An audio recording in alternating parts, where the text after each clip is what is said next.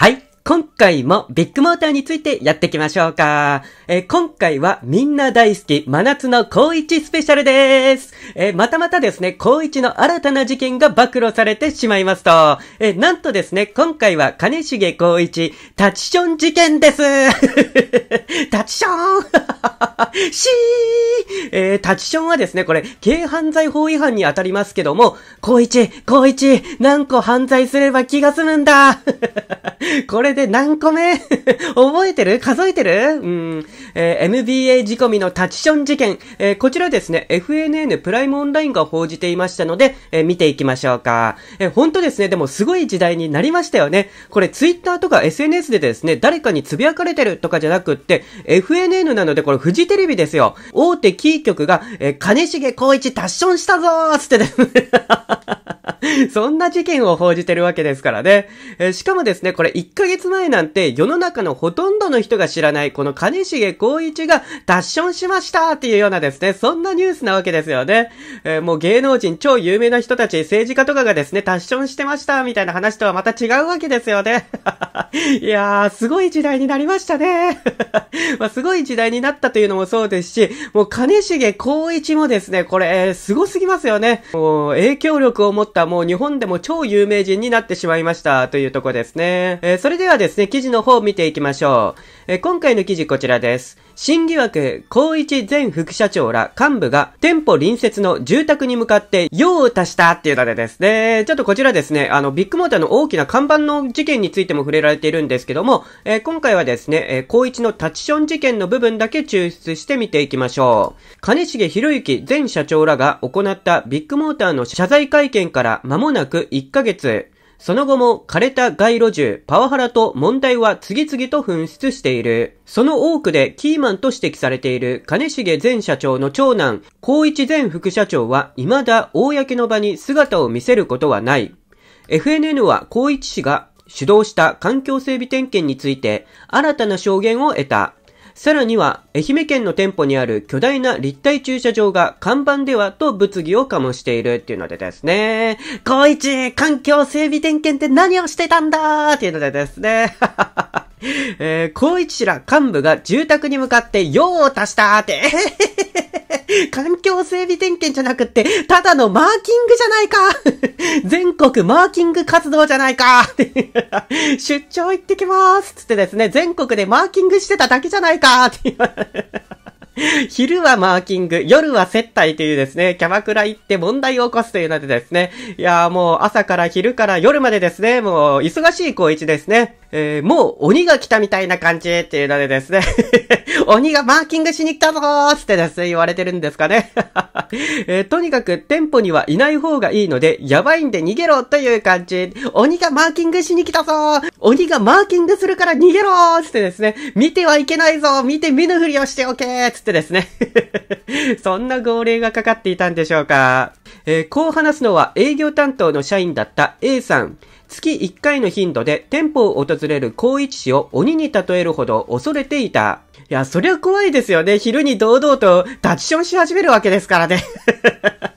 いや、まあ、またマーキングしてるよ、あいつ。つってですね。そりゃ怖いですよ。えー A さんはある日、環境整備のために訪れた高一氏ら執行部の仰天行動を目の当たりにした。店の前で用を足したのだという、ですね。高一の公開マーキングしー A さんは環境整備で店長がすぐ挨拶しに行ったんですね。お疲れ様ですってめっちゃ大きい声で言ったんですよ。そしたら何してるか分かってんかってブチ切れられてしまいました。と話したっていうのでですね。え、高一のマーキング見ちゃダメだぞーつってですね。え、マーキングの邪魔をするなーっていうようなですね。そんなお話でしょうか。えーこの日、近隣の店舗を複数回った後に、A さんの店舗にやってきたという高一氏ら執行部だが、トイレに行く暇もなかったのだろうか。店の美化を指導する立場の人間の信じられない行動に衝撃を受けた A さんは、さらに驚くべきは、店舗の真横に隣接している住宅に向かってしてるんですよ、と明かしたっていうのでですね。高一マジかこれ本当大丈夫？これ。あんな放送禁止用語をですね、連呼するような LINE もそうですし、仕事中ですね、昼の明るい時間、みんなが見ているようなところでですね、タッチションをしてるわけですよ。酔っ払ってた？高一。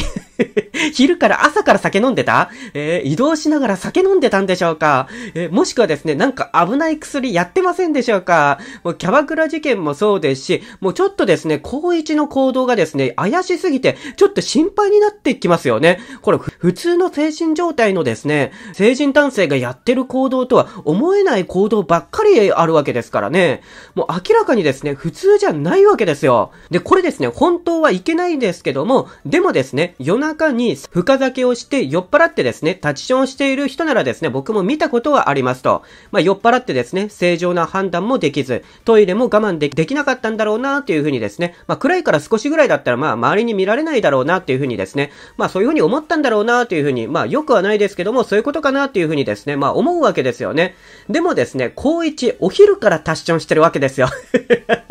しかも公開タッチションっていうですね、えー、さらに他人の家に向かってタッションをしているって、もう本当どういうことなんだっていうふうに思ってしまいますけども、やっぱりですね、あの取引のある業者、個人だけじゃなくって、もう全く関係のない近隣住民に対してもこうやって迷惑をかけてるわけですよね。もうあの大観山の豪邸に向かってタッチションしていいということなんでしょうか？自分に帰ってくるつってですね、なんか、いや、ビッグモーターの YouTube チャンネルでおっしゃってたので、まあそういうことを理解して行動されてるということでですね、自分の自宅にもタッチションされてもいいということなんでしょうかね。うん。また新たな高一伝説の誕生ですと、高一ファー高一ファー高一のションペンもミスショットしてしまってスーツにかかってない 大丈夫そうあんたパンツ汚れてるじゃないのつってですね、お母さんに帰って怒られなかった？高一大丈夫そう？